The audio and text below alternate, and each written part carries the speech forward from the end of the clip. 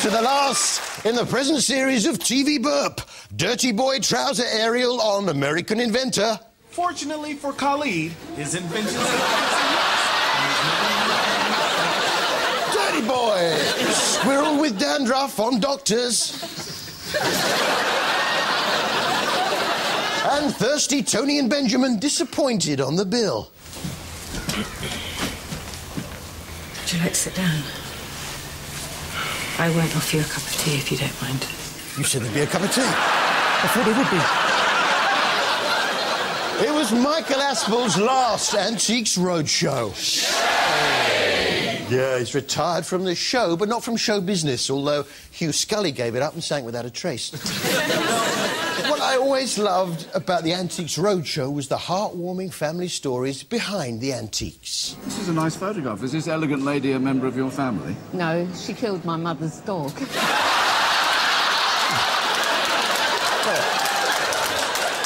I'm sure she had her reasons. Sunday's show was turned into a wonderful farewell to Michael, complete with some fascinating Michael facts.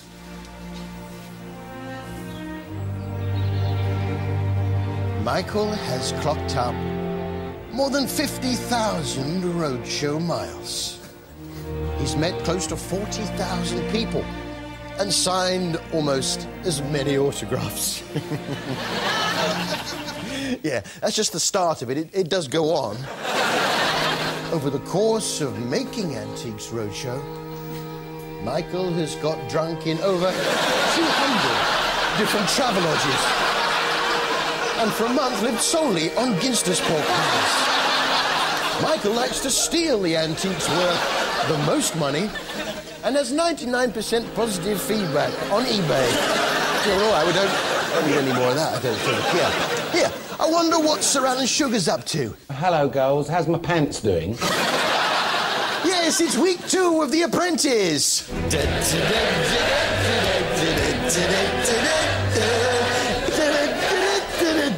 You touch my fence again, I'll give you a wedgie. I am Sir Alan Sugar, and one of you will be fired. Thanks, Alan. Yes, it's only week two, and Sir Alan was particularly fussy about his laundry. I've laid on two laundries for you. You go out, you find the customers, you perform the service, and most certainly make sure the quality's right. Because I'll tell you one thing. When stuff comes back from the laundry that I don't like, I sling it back at them. All right. All right, Sir Alan, sorry. Might need a bit of vanish on those.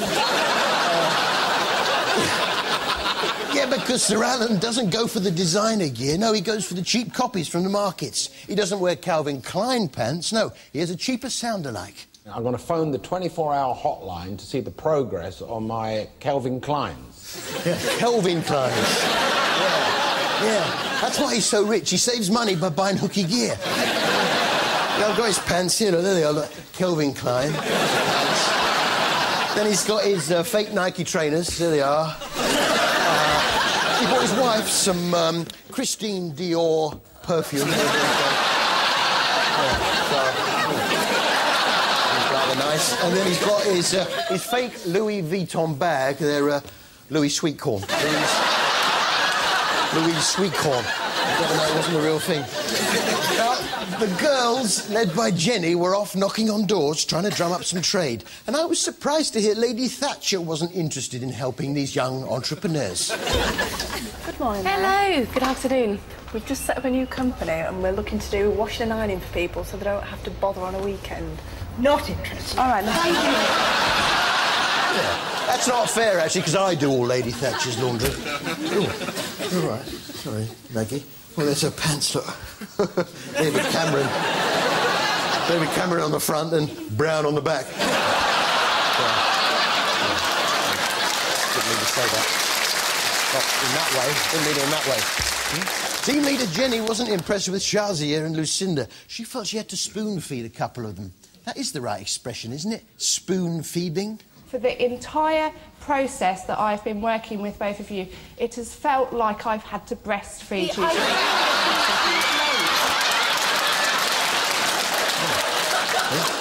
All that talk of breastfeeding. I fancy a rusk now. Well, I must say, I have been enjoying the new series of daytime DIY shows 60 Minute Makeover. If you're unfamiliar with the format, it's a surprise makeover like changing rooms, but, and here's what singles it out it all takes place in 60 minutes. Although, if you take out the adverts, the show is in fact only 46 minutes long.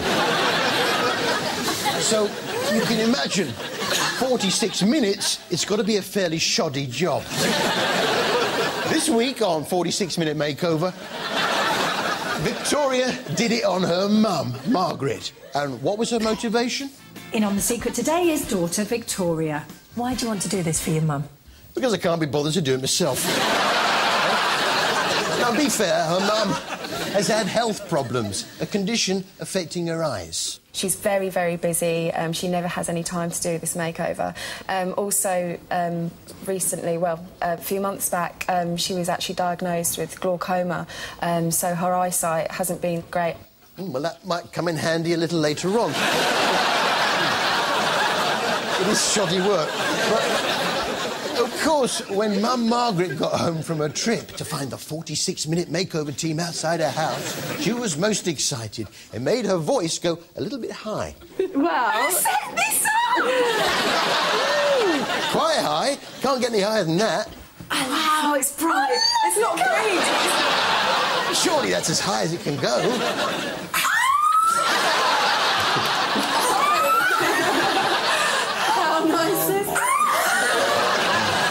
Yeah, that might get annoying. But with only 46 minutes to do the makeover, I'm just a bit worried about the standard of the work. I mean, what happens when they all go home?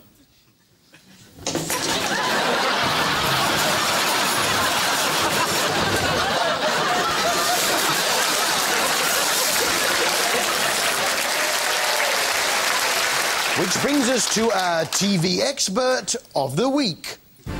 TV expert of the week. Adam Crew will test a model building on an earthquake simulator. To make it realistic, this model is built with spaghetti.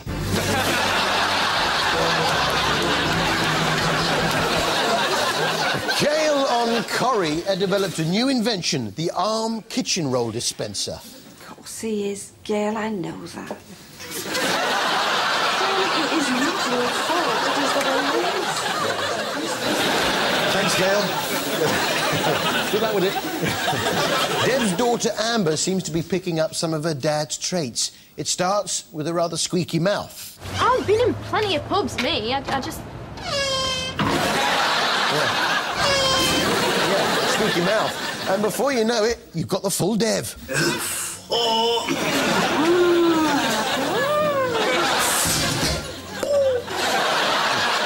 But the big story, of course, was Paul and Leanne burning down Valandro's, the Italian restaurant. And it was important they got their story straight. What if I say she wasn't?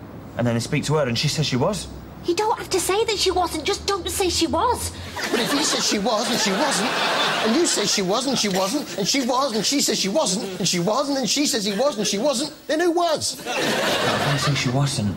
And then I speak to her and she says she was? You don't have to say that she wasn't, just don't say she was. Well, I'd say she wasn't, and you say she was. You don't have to say that she wasn't, just don't say she was. I wasn't. It wasn't just Paul and Leanne involved in the arson attack, no. I believe she got a little black furry monkey to help her out. You know, the, the little black furry monkey that hangs onto her back. I've got the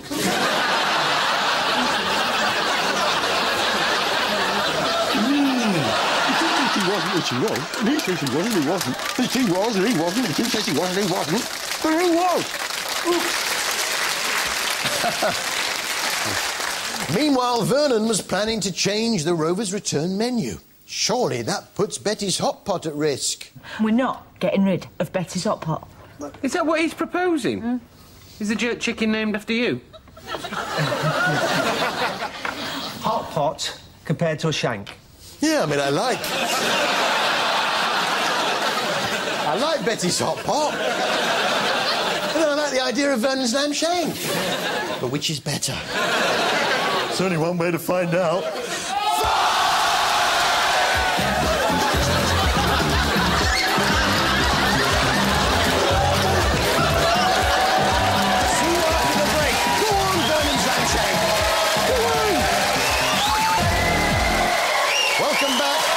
TV Book. Tommy Cooper hair on Johnny's New Kingdom. And this is all Just like that. Just like that. Horse gets angry on owner's behalf on Heartbeat. You're a weakling. Deserve everything you get. And a man falls in love with a silver car on the bill.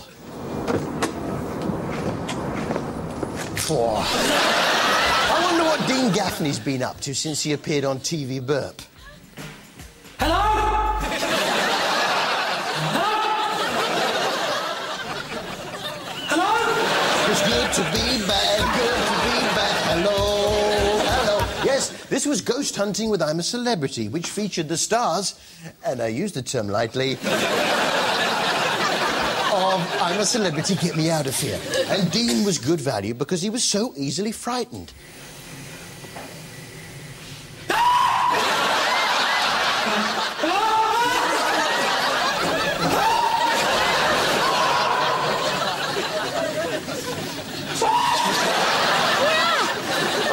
He's filming himself screaming. then it was time for the ghosts to talk to us. Please, Jack, if this is you, can you perhaps give us your initials? Doesn't matter. I'm trying to work out. That looks like a J. Yeah. Let's have a go with it, shall we? Yeah. Let's see if any ghosts can talk to us. Mm, Oi, pulling over there, Mr. Ghost. Oi, let's over there. Oh, he's coming back towards me. Oh, away and down. Oh, and the ghost is going round. Oh, what's that, Mr. Ghost? Oh, over to the right. Uh, Oh, I'm back there. Oh, yeah, yeah. Oh, oh, it's another another J. J. Yeah. He's got J on the brain, that ghost. Last week we showed you R2D2's dad on Emmerdale. Right. Well, this week on David Attenborough's Tiger Spy in the Jungle, I spotted R2D2's grandma. nice to see the whole family in work. This was a hidden camera show for animals and turned up some amazing shots. With a tiger in their midst, monkeys have at least one way to show their disgust.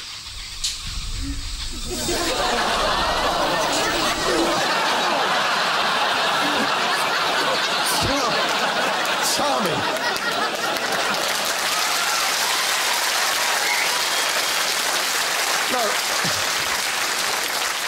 There were some great shots of the tigers, particularly the dominant male, Charger.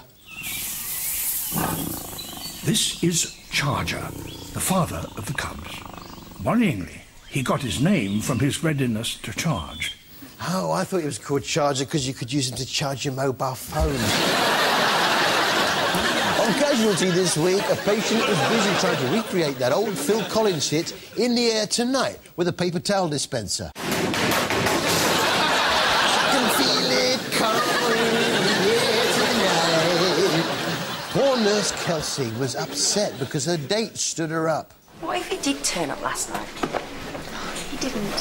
What if he saw me, took one look and thought, what a minger? Well, it's not entirely beyond the, the bounds of possibility. But, but I wonder what a child would be like if Bill Bailey mated with a Rice Krispie.